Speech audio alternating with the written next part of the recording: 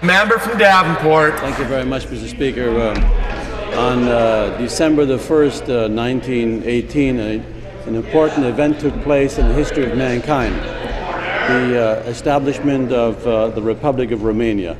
On December 1st, Mr. Speaker, Romanians all over the world celebrate this independence of the great Union of 1918, when by freely expressing their will, Romanians from all the historical provinces previously under foreign domination proclaimed their union with the motherland, thus accomplishing the centuries long dream of their ancestors, creating the great Romania.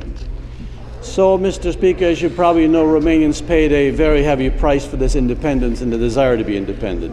In 1948, the revolution didn't last very long because the great powers did not support Romanians to be independent.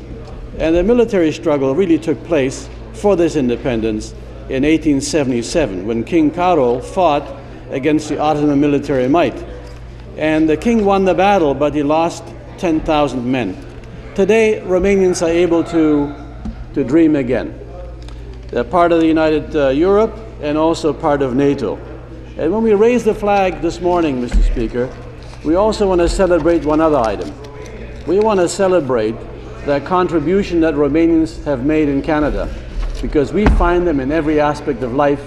And representing the government of Romania and the Consul General Valentin Amescu is Mr. Jerry Avram, and we wish the community very well. Congratulations.